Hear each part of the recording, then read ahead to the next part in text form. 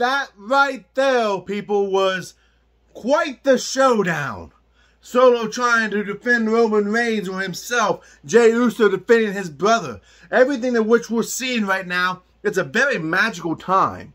And if you're liking what you see on this video, hit that like, hit that subscribe button, leave a comment down below based on what you felt about last night on Friday Night SmackDown, or should I be calling it Friday Night Bloodline, because the Bloodline has been dominating not just SmackDown for the last couple of years. Oh, no, no, no. They have been dominating WWE as a whole. And this storyline is still going on. And I know there was a small group of people and there were a small group of people that's just like, I'm tired of the bloodline storyline. I'm tired of seeing them involved in everything. Or, oh, last week it was all about the bloodline. Will you name something or a storyline that is more important, that has brought more eyes to the WWE in the past year alone than what's going on right here? There's going to be a major, major payoff, okay? So just hold tight. Stand now. Grind it out. Enjoy the, the rest of the show was majorly enjoyable, but there was little trinkets spread out. We know we're going to get Jey Uso versus Roman Reigns at SummerSlam. But there's a new storyline or a new match that could possibly be happening. Grayson Waller had a couple words about The Rock. If you smell what The Rock might be cooking, is it possible that the rumors are true? Is it possible that the rumors are, are going to happen, that The Rock is going to face Waller coming this SummerSlam? Instead of it being Roman Reigns, which is something we've all been asking for. The tribal, who is the tribal chief of the Samoa dynasty? Who is the true tribal chief? If this match happens, and this is a big if, because right now it's just rumors and speculations and hopes and dreams, just like my successful career.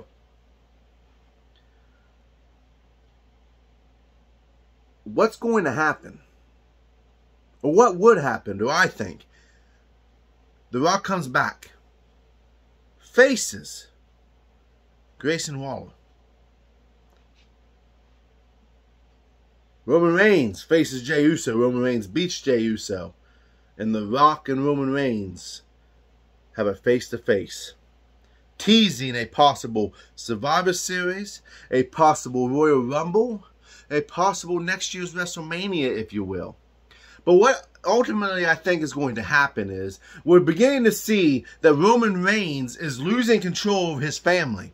Solo Sikoa wants to be the tribal chief. We've seen it last week and he picked up the necklace. The wise man, his his his puppeteering, like Jey Uso said, is beginning to come more and more to light. The Usos are out. Everything is falling apart underneath the tribal chief's watch. And everyone knows that if you're the leader of anything, you are responsible for those who are underneath you. I want to see a major tribal court. Roman Reigns' is tribal chief hood is on the line. You have you have Sika. You have all the elders. You have The Rock. You have his mother. You have his grandmother. You have Rikishi. You have the Usos. You have so Sikoa. You have the whole dynasty, the whole bloodline now. And they all begin to turn their backs and walk away from Roman Reigns, leaving him standing alone in the ring. No one to support him. And the last person standing there, Paul Heyman. And then Paul Heyman drops his head, drops the title, if he even has the title at this point and walks away from Roman Reigns. One final trial.